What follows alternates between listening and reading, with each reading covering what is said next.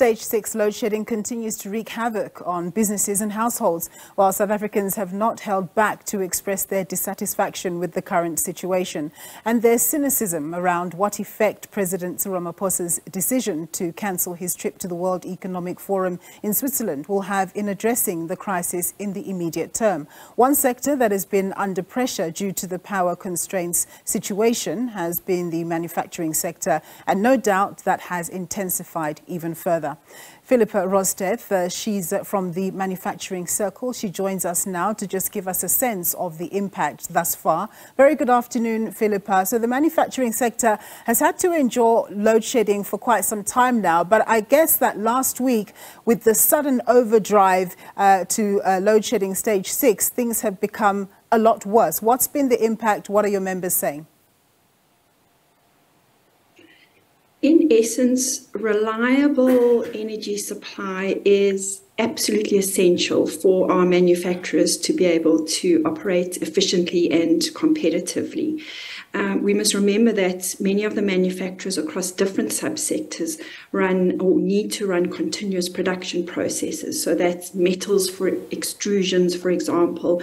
It also um, um, has relevance in, in, across food and beverages, paper and pulp, chemicals. So this increase in um, the load shedding frequency, um, as well as um, unpredictability, is significantly impacting on the sector. Um, we see increased um, uh, wastage, um, lost production time, so that negatively impacts on um, on revenue. And at the same time, a, a, lot of overheads need to be maintained. Um, in the manufacturing sector, we have a skilled labour force, so um, those overheads still need to be adhered uh, or, or, covered. so really, you know, the, the, the increase in the load shedding, um, compounded by um, the, the, the um, publicized increase in tariffs, is definitely uh, making uh, it very difficult for the manufacturing sector to operate on a competitive basis. And as a manufacturing circle, this really concerns us in that um, an inability to, to operate competitively means that we can lose a lot of our local production to either imports, um, and it also makes us less able to export because in order to export by default, our products need to be competitive. So really, um, you know, that, that could tend towards a, a um, vicious demand cycle in that our manufacturers are less able to produce competitively. Um, we lose the ability to do so, um, and in so doing, um, you know, there's there's less investment, yeah. uh, less jobs provided. So, Philippa, have you, as a manufacturing circle or as industry, manufacturing industry, reached out to Eskom around how it can best accommodate the sector to enable it to be more productive under the current circumstances? The manufacturing circle, as well as other industry associations, um, has been engaging with Eskom um, at a strategic level for the last two years um, in a very um, proactive way.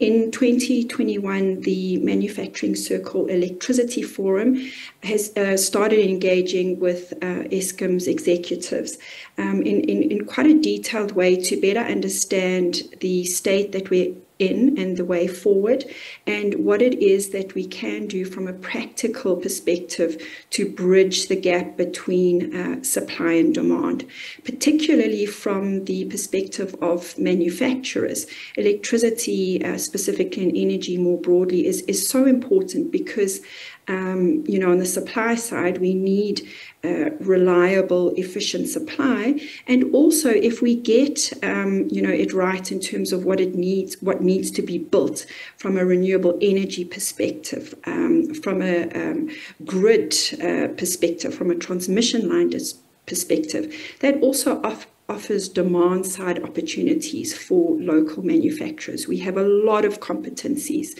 um, across transformers, um, uh, power pylons, conductors, balance of the plants and like.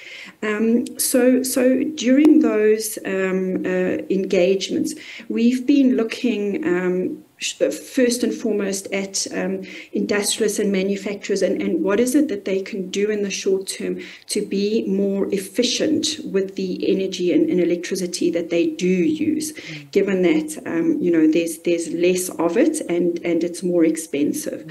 So those are um, certain practical interventions that are being considered.